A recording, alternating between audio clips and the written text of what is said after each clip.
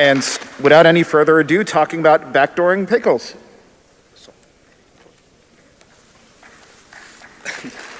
Thank you.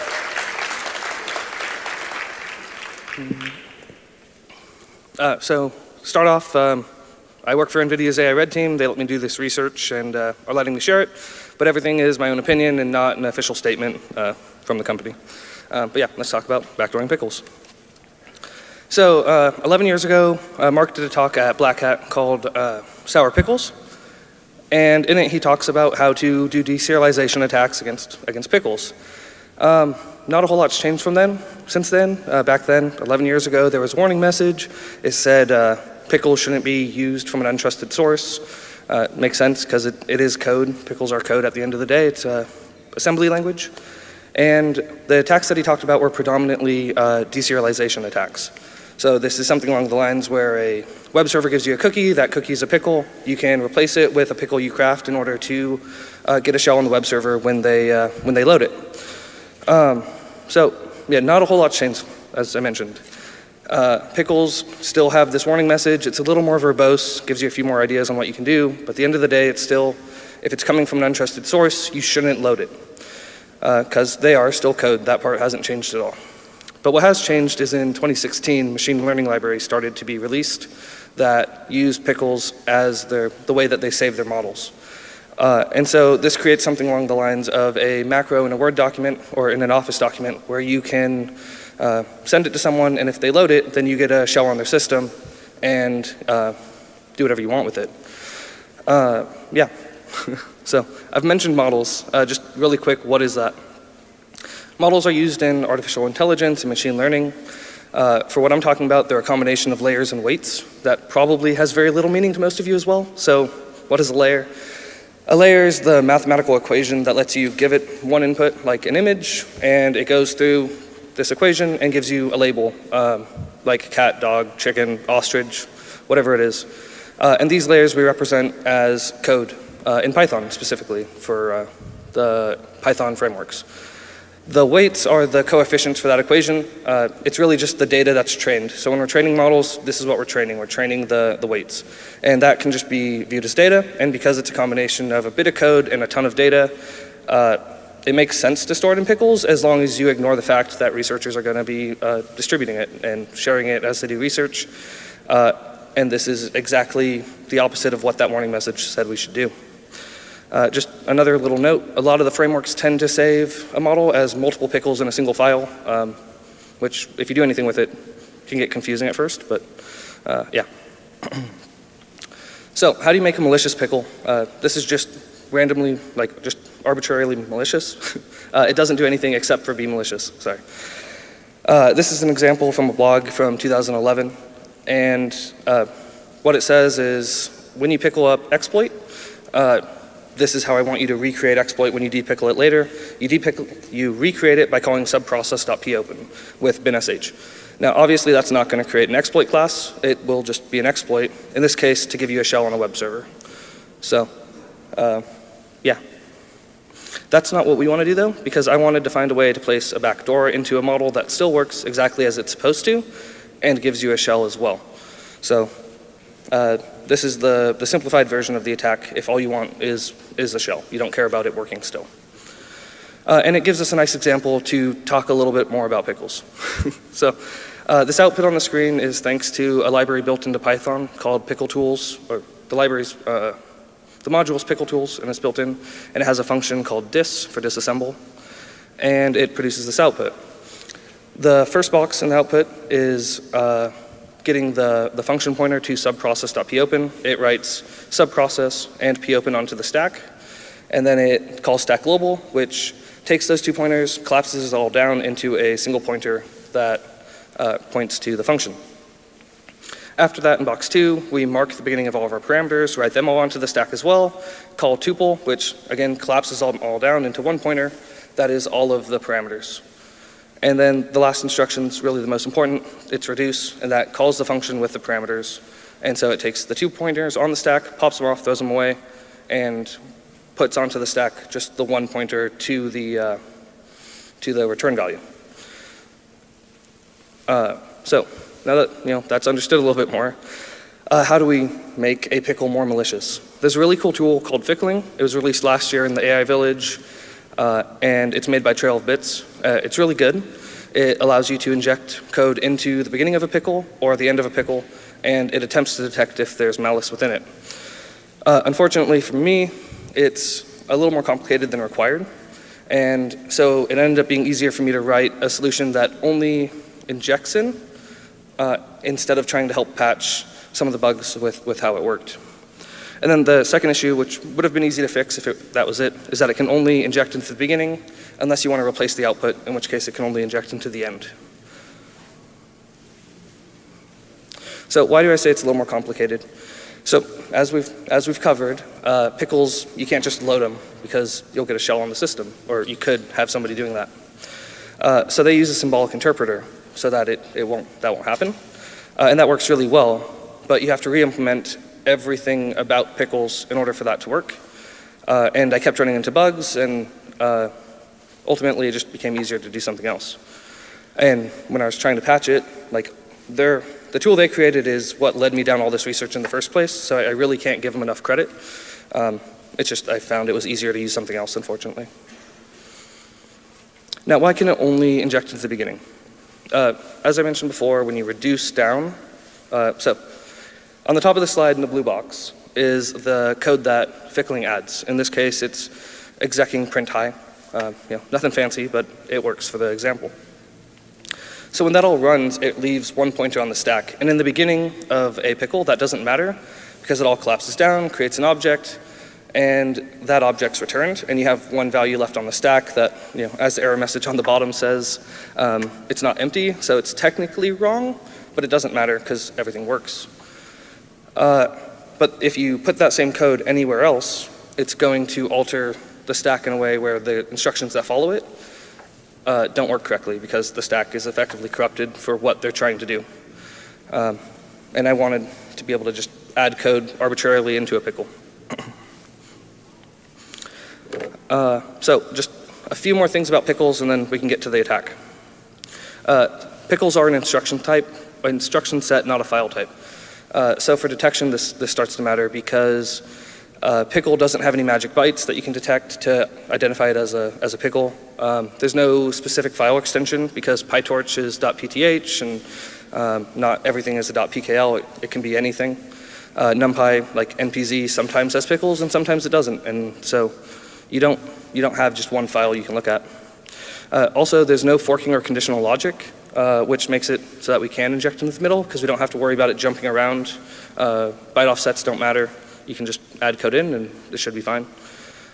Uh, as we've shown, you can import any Python callable. Uh, subprocess isn't imported uh, when we exploited it earlier. Uh, Pickle actually imports the subprocess module and gets the function for you. So if it's installed on the system, you can, you can use it. And uh, there's an instruction called pop that takes a value and discards it. So when I, I keep saying that I had a simpler solution, on the right side of the screen are the 50 lines of code that I used to uh, inject into any pickle. Um, and 50 lines of code was easier than writing patches. Uh, and so when I wrote this, I had a few requirements. I wanted it to not be obvious to the user or uh, intrusion detection system because uh, I don't want to get caught. Uh, I wanted to parse the pickle without loading it, but at the same time I don't want to use a symbolic interpreter uh, because I saw how that can get complicated. And I want to inject into an arbitrary location. Uh, mostly that's just to help support the first point, um, but also because I can. Uh, it makes it harder to detect. So. All right, so how do we avoid being obvious to a user and an IDS? Uh, well, we spin off our own thread so it hides in the background. We don't want to stall the, uh, the pickle. We want it to load and everything to work exactly as the user expects.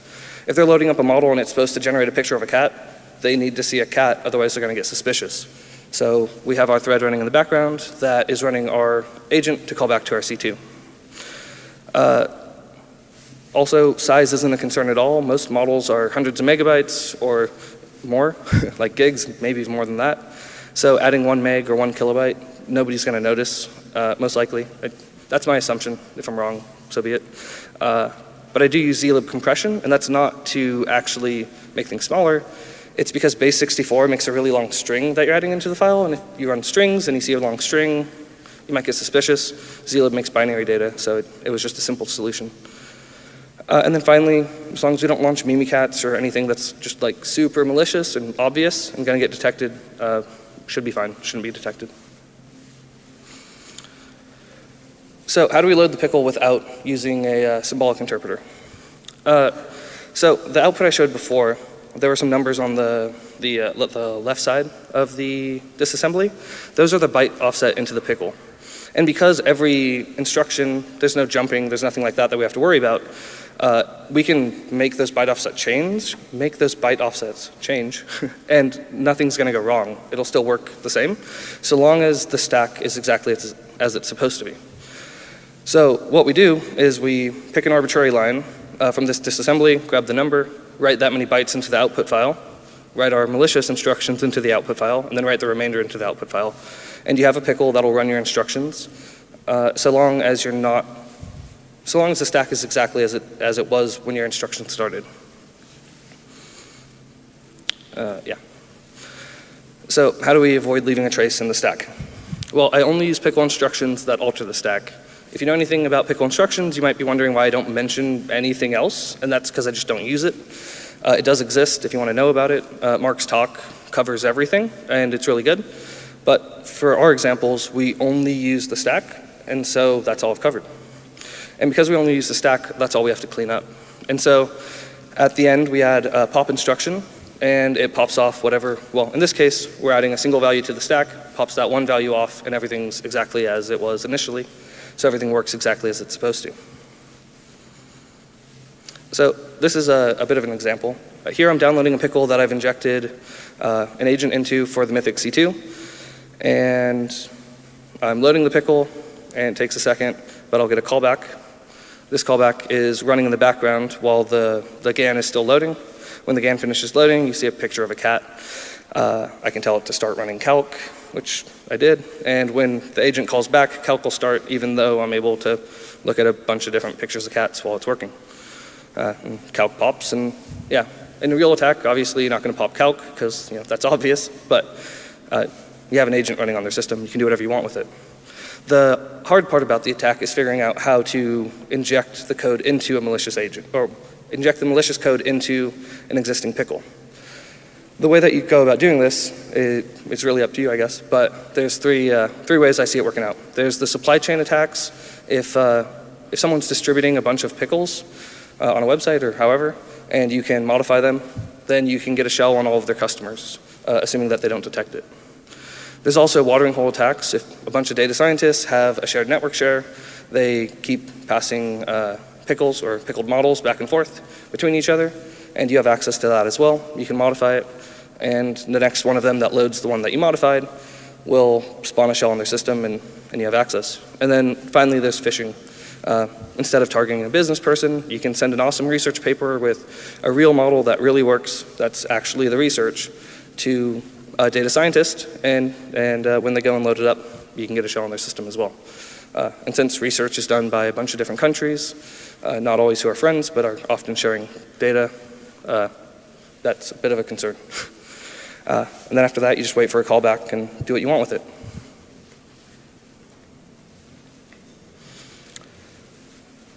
So what can we, what can we do about this? Um, well, antivirus software doesn't work great for detecting this. Um, pickles aren't like an known file type. Uh, a coworker of mine wrote a YARA rule, but because it's just a full instruction set, you can do anything you want with it. You can uh, make the code do anything you want completely. Uh, you can load any library, so it's essentially detecting an arbitrary Python file, uh, except written in a different form that's binary and harder to read. So the are rules that we wrote are pretty easy to bypass if you know what you're doing. Um, maybe there's a way to make them better. I mean, there's probably ways to make them better, but I still don't think you're ever going to be able to completely detect every way you can make, make a pickle malicious. So all you can really do is verify that the integrity of the file is exactly as it was when you created it. But that doesn't help anyone who's getting a file from you uh, unless you have a way to share a hash um, that's more secure than the way you show the pickle uh, which maybe you do, and so you can do that. But uh, you sort of run into an issue of how does anyone know that it hasn't been modified?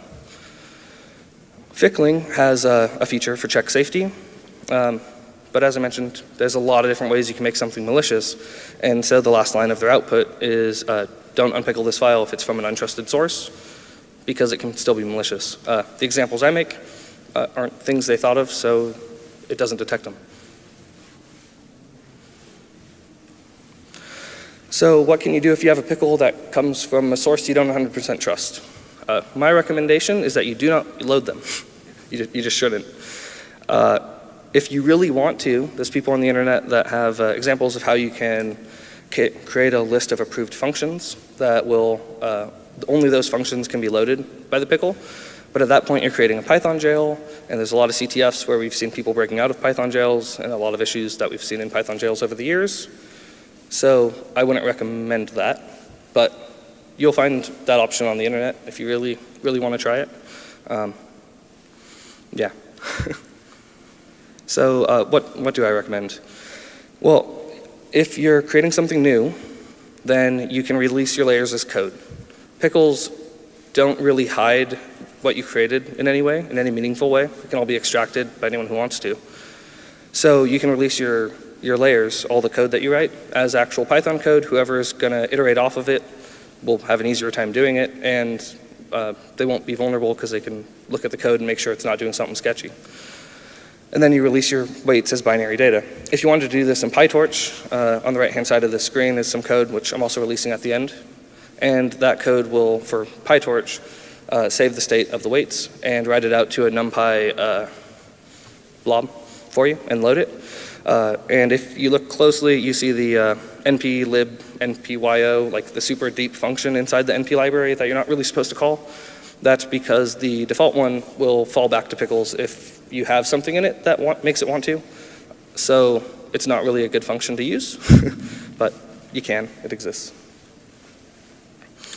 Uh, and then if you know, this has been around for six years, so there's a lot of pickles that already exist that are, that are malicious, or well, not malicious, that could be made to be malicious. And it's sort of unrealistic for me to expect them to just delete all of them and start over, um, as much as like that would be the safest solution. So if you have some of those, then uh, you need to protect them like they're unsigned executables, because effectively that's what they are. Uh, that means verifying that their integrity is exactly what you uh, expect it to be. Um, if you're offering people to the ability to download it. It needs to be over an encrypted uh, channel because uh, otherwise uh, an attacker in the middle can make it whatever they want it and get a shell on their system. And if an adversary gets access and could have access, modified it and you have no way to verify that they haven't, um, you sort of just have to delete it all and recreate them, which sort of sucks. So don't let that happen.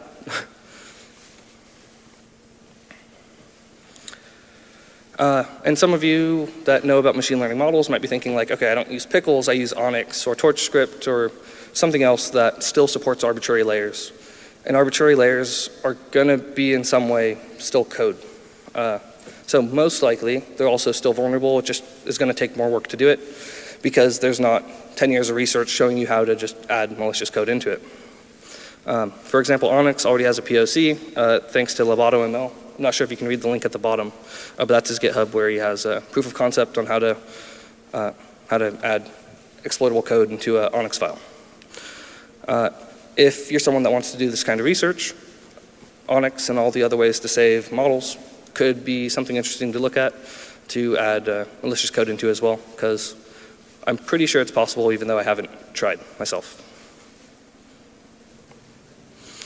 Uh, so yeah, uh, if anyone wants to see the injection code, uh, I have it on my GitHub.